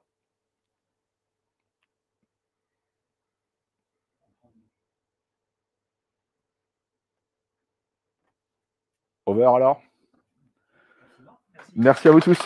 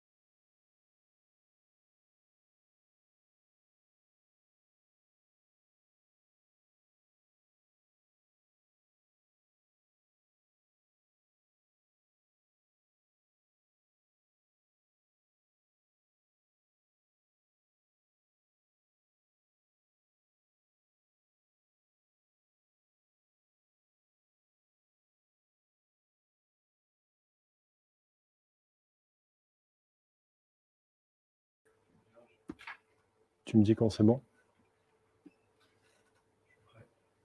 Allez. bonjour et bienvenue. Aujourd'hui, on va parler de Node et euh, bah, des alternatives possibles à Node. Donc, voir si peut-être demain, on va peut-être arrêter d'utiliser simplement Node dans notre quotidien. Donc je me présente, je suis Tarek Touati, je suis consultant Zenica, je fais du web et du mobile. Et euh, vous pouvez me retrouver sur Twitter euh, sous cet alias-là. Je tweete pas mal de choses sur Node, sur le mobile. Donc, le commencement. Node, ça a démarré en 2009. Il a été créé par Ryan Dahl. Ça utilise en interne euh, le moteur V8, qui est utilisé par à peu près 70% des navigateurs modernes, notamment Chrome et Edge. il a un petit emballage cadeau avec du CPP, on va retrouver euh, toute la machinerie interne du coup de Node. Et la dernière version est du 22.0. J'écris ce talk. très récente. Euh, tout le monde qui a fait du web aujourd'hui utilise du Node, que ce soit pour faire du front, du back. On met tous raccord là-dessus. Euh, le truc, c'est que bah, on a très peu d'alternatives sur cette solution. Mais avant d'aborder les alternatives, on va d'abord aborder de pourquoi Node.js a été créé. Vu qu'on revient en 2009, on est quand même dans un contexte où bah, on avait PHP. Et du coup, PHP, bah, c'était un langage qui était bloquant. On avait aussi bah, de l'Apache qui était peu performant. Et donc là-dessus, Node.js est arrivé pour proposer une, une, solution qui était non bloquante grâce du coup au callback et plus tard grâce au promise et donc aussi de proposer en fait une API, on va dire, un peu différente euh, et de pouvoir faire du JS tout simplement sur le serveur. Donc cette API, elle pouvait permettre de faire de l'IO, du network, du, de la crypto et tout plein d'autres. On reviendra un peu plus tard sur cette API-là. Donc sur les performances, sur les alternatives, on a vu popper Deno. Du coup, c'est quoi? Eno, ça a été annoncé à la JSConf EU en 2018 par Ryan Dahl dans son talk où il parlait des 10 erreurs qu'il a faites sur Node. C'est lui-même le créateur de Node. Donc, il nous a annoncé à la fin d'Eno. Euh, il a atteint sa première release en 2020. Et derrière, coup, ça utilise toujours V8, qui marche plutôt bien. Euh, au début, ils ont commencé à faire un petit wrapper en Go, c'était assez bien. Ils ont eu des petits soucis avec le garbage collector de Go, donc ils ont préféré passer sur du Rust. Et derrière, ça est devenu des gros contributeurs à Rust par la suite. Donc, parmi ces 10 erreurs sur JavaScript, euh, sur Node.js, pardon, euh, parmi celles-là, il y avait ces différents points que j'ai pu noter, notamment les problèmes de sécu, où on va retrouver tout ce qui va être script de pré-install et post-install, je suppose que vous avez tous installé une dépendance NPM et que vous le faites, bah, en fait, on ne sait pas ce qui se passe derrière. Et donc, euh, bah, on va retrouver des scripts, des dépendances qui vont avoir en préinstall bah, une exécution de script euh, bash qui va mettre peut-être un crypto, bah, un miner dans votre bécane et, et puis il va dormir. Hein. Il va dormir et puis vous partez en prod et hop, le truc s'exécute et c'est foutu. On va avoir aussi le côté dépendance. Donc, toutes les dépendances sont de la lecture-écriture sur le disque. Il n'y a pas de contrôle dessus. Vous installez une dépendance, elle fait ce qu'elle veut. Elle n'a pas de scope dédié. Donc, euh, bah, faites gaffe, simplement. Ou bien, courage aux équipes SSI. Euh, on va retrouver aussi des, problématiques de performance sur des grosses applications qui utilisent Node.js. Donc, on va avoir des ralentissements là-dessus pas des petits Hello ou des petits microservices, mais une fois que l'application grossit, on commence à avoir des petits soucis de performance, notamment sur des projets front-end ou des applications mettent beaucoup, beaucoup de temps à démarrer. Le gros souci aussi avec euh, Node, c'est que ça utilise la registrie NPM par défaut, et donc qui veut dire pas d'NPM, pas de production, puisque du coup, bah, ça disparaît, on ne peut plus installer ses dépendances. Et il y a des alternatives qui commencent à popper petit à petit, il y a des boîtes qui montent des Nexus, mais ça demande quand même un coût à avoir et c'est pas du coup, c'est pas fourni par défaut euh, par un node. Un des gros défauts, c'est aussi l'incompatibilité avec les standards web. Euh, quand on parle de standards web, c'est ce qui va être poussé au niveau de votre navigateur. Et là-dessus, bah, c'est assez gênant parce que ça oblige les gens à maîtriser deux API. Si on fait du front et du back, bah, on doit maîtriser les deux et c'est un peu relou. Ou bien quand on veut copier-coller un petit script, un petit bout de code sur Stack Overflow. Ça ne marche pas du premier coup. Donc, deux des attentes de Denos qui a été annoncé, c'était de dire, OK, on va fournir une runtime JS TS packagée all-in-one. on fournit de meilleures performances que Node.js, et derrière, on apporte une nouvelle philosophie. Cette philosophie, ce qu'elle apporte, c'est du coup, pour, en premier point, c'est le, sandboxing, c'est-à-dire bah, de la sécurité par défaut. Ce qu'on va faire, c'est bah, enfermer l'application qui va tourner. Donc votre code, quand il tourne, il est enfermé. Il n'a pas d'accès réseau, il n'a pas d'accès au file system, il n'a accès à rien. C'est juste votre code. Vous installez une dépendance qui a besoin d'un accès file system, bah, elle n'a pas le droit. Il faut donner explicitement le droit d'accéder à tel dossier ou à tel répertoire pour qu'elle puisse correctement fonctionner. On va avoir en second du coup la décentralisation. Donc, euh, on ne dépend plus de NPM. On a une registrie indépendante qui s'appelle euh, Denoland. Et derrière, sur cette registrie indépendante, bah, on peut la forquer. On n'est plus dépendant quand on veut faire une installation, on veut utiliser une dépendance. Bah, on va utiliser les fameux liens Deno, sur lesquels on reviendra juste après.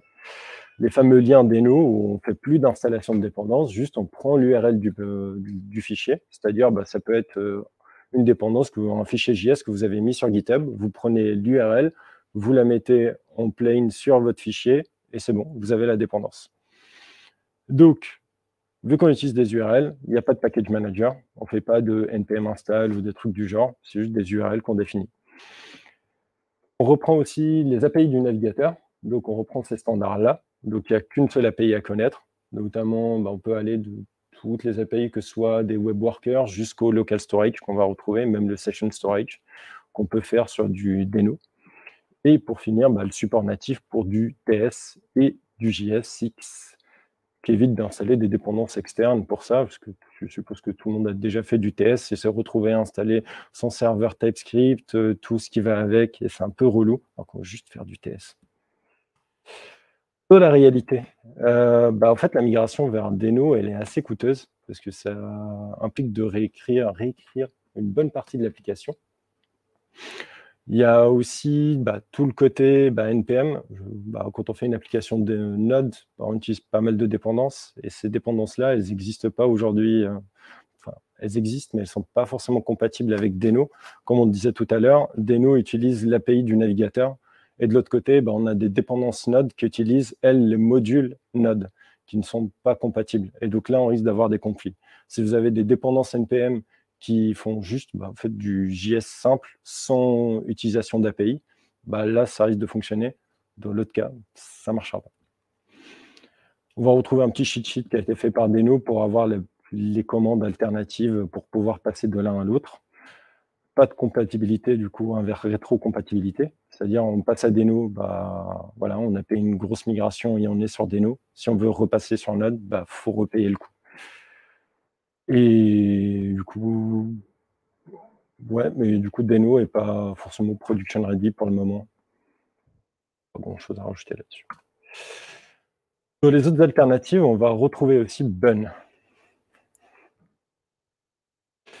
Ben, ça a été annoncé en 2018 par euh, Jared euh, Sumner. Il a commencé à bosser dessus pendant un petit moment. Non, pas 2018. Plus récent que ça. Je me suis trompé, désolé. Euh, il a été annoncé à la SF Meetup Node. ça fait un petit moment qu'il bosse dessus. Il a commencé à bosser dessus pendant le confinement. Et ça a commencé comme un petit un projet euh, side project. Et par la suite, c'est devenu bah, un gros projet, on va dire. Euh, donc, euh, Bun, bah, la promesse, on reviendra sur la promesse. Bun, du coup, dans les attentes, ça a été bah, fait avec du Rust, tout simplement. Dire bah, tout l'emballage cadeau, on va le faire en Rust. Il y a une première tentative là-dessus, comme pour Deno. Et au final, ça ne l'a pas fait. Il y a eu des soucis avec tout ce qui va être lié à Rust au niveau du borrower checker. Il n'est pas rentré dans les détails, je ne vais pas en dire plus. Par la suite, il est passé sur du Zig, vu qu'il avait beaucoup plus la main sur la mémoire et il pouvait beaucoup plus jouer pour améliorer les performances, vu que c'est un peu l'objectif de euh, Ben. Et derrière, on a quand même un petit côté inverse, c'est qu'on utilise du JavaScript, JavaScript Core, qui est le moteur qui fait tourner euh, les navigateurs Safari, que ce soit sur le mobile et sur euh, le web, comparé à V8 qui est utilisé par tous les autres. Dans les attentes, Bun, pareil, du coup, on est sur une runtime all-in-one, donc on embarque pas mal de choses. Il est hyper rapide, et plus rapide que Deno et Node. C'est un remplacement plug-in one, c'est-à-dire on prend Node, votre projet Node, vous le prenez, vous virez Node, vous mettez, des, vous mettez Bun, pardon, et ça marche. Il est compatible avec Yarn 1, c'est-à-dire vous avez utilisé Yarn 1, vous avez un yarn.lock, vous avez une commande quand vous faites une install et ça utilise du coup votre fichier yarn.lock pour faire l'installation. On a une API 100% compatible avec Node, d'où la compatibilité plugin one. Et on a le support natif pour TS et JSX. Dans la réalité, bah, Bun, stable aujourd'hui. L'API, est stable vu que ça reprend la même API que Node. Donc, elle risque pas trop de changer, mais pour le moment, pas suffisamment, pas trop production ready. Il y a, en regardant le, le, code source, il y a beaucoup de patchs qui sont faits sur JavaScript Core pour optimiser un maximum les performances et avoir en fait euh, bah, les différents benchmarks qu'ils annoncent sur leur site et sur Twitter. Euh, en parlant de benchmark, du coup, bah, ils sont assez sceptiques. C'est que du coup, ils sont faits avec des exemples assez légers, du type Hello World. Par contre, quand il y a plusieurs personnes qui ont comparé sur des gros projets, et il restait quand même le plus performant, mais de très près avec Deno. Euh, voilà. Sinon, les migrations, comme je disais tout à l'heure, elles sont assez légères vu qu'au final, ça reprend la même API. Et donc, c'est compatible avec toutes les dépendances. Pour conclure, quand est-ce qu'on commence à utiliser bah, Deno ou Ben bah, Pour savoir quand est-ce qu'on va utiliser, il faut peut-être parler de la, des diffusions de l'innovation, qui est une théorie qui dit que chaque innovation, pour être diffusée, elle doit passer ces cinq catégories. Donc, on va retrouver les innovateurs, les early adapters, la early majority, la late majority et les lagers. Et donc, quand est-ce qu'une euh, innovation, on commence à l'utiliser? On va retrouver ici la ligne jaune qui euh, correspond bah, à une nouvelle innovation. Il faut qu'elle arrive en fait à dépasser la early majority commencer à l'utiliser. Donc, au final, bah, où est-ce qu'ils en sont euh, Deno et, Node, Bun Deno, de leur côté, ils sont au niveau de la Early Adopter Stage. Ici, c'est juste ici. Donc, ils ne sont pas trop loin de la Early Majority. Euh, si on regarde euh, des sites comme StackShare qui permettent de voir les stacks des boîtes, on peut remarquer que Deno est utilisé à peu près par 18 boîtes en elles-mêmes. Et sur leur site, ils n'annoncent pas tant que ça de, boîtes qui les supportent derrière ou qui les utilisent publiquement. Donc ça reste quand même euh, assez restreint comme usage. Du côté de Bun, on va retrouver, euh, bah, en fait, euh, c'est toujours au niveau du Innovator Stage, désolé. Donc on est toujours au tout début il y a quand même une grosse communauté qui est en train de se monter dessus. On va retrouver des frameworks qui montent, qui sont en train de se créer, qui se spécialisent pour Bun avec euh, des petites spécificités. On a pas mal de vidéos YouTube, il y a bah, en fait, pas mal de personnes qui se montent autour. Il y a des repos awesome qui se montent aussi. Mais pour le moment, ça reste assez petit. Merci.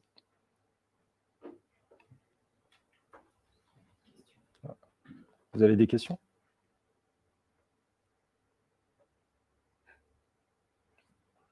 Du coup, au final, tu ne conseilles pas trop de quitter notre pour l'instant, alors? Hmm, Pour le moment, non. Bah, en fait, l'idée en elle-même, c'est de garder un œil sur ces technos-là et de en fait, de ne pas les perdre de vue. Aujourd'hui, il y a des soucis dans Node qui sont présents. Il y a des failles de sécu, il y a des performances qui peuvent être euh, parfois poreuses selon les projets. Mais il y a quand même ces projets-là qui se montent, qui sont là pour répondre aux problématiques que Node a du mal à réagir dessus, vu qu'il couvre un large spectre. Et pour le moment, je ne recommanderais pas de passer sur cette techno-là et de quitter Node.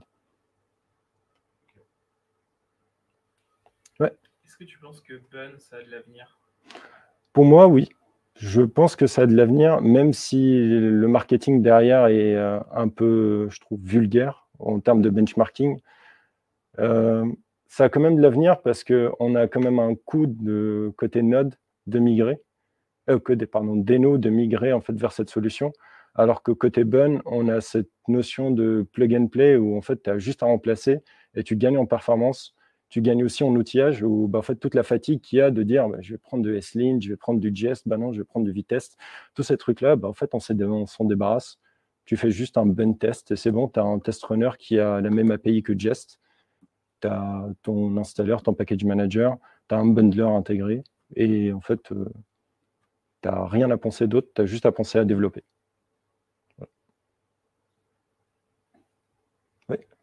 Tu as aussi parlé du coup des benchmarks et tu disais qu'en gros, ils étaient. Euh, enfin, c'était un peu fou en gros ce qu'ils disaient. Ouais. C'est à peu près, euh, c'est quoi les, euh, les trucs qu'ils annoncent et quelle est la réalité d'après ce que bah. tu as vu sur les gros projets du coup? Bah, Je peux te, te, montrer le site. En termes de performance, on est. Hop, là, on va voir des performances. Sur l'installation, c'est que c'est les plus rapides. Est-ce que du coup. Ah, pardon. Hop, je vais l'agrandir. En termes de performance, je sais que c'est les plus rapides là-dessus, parce que bah, ils ont vraiment optimisé avec Zig sur bah, en fait, la lecture, écriture sur le téléchargement et surtout sur la stratégie de caching. Et d'où le fait qu'ils soient même beaucoup plus performants que PNPM, qui était censé être le plus rapide du marché.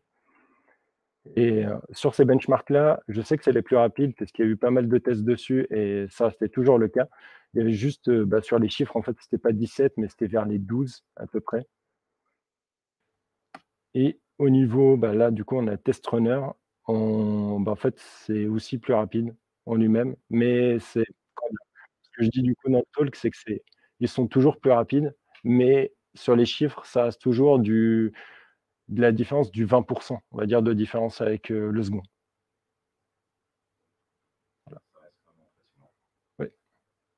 D'où le choix du coup de Zig pour vraiment optimiser la performance et optimiser la mémoire là-dessus.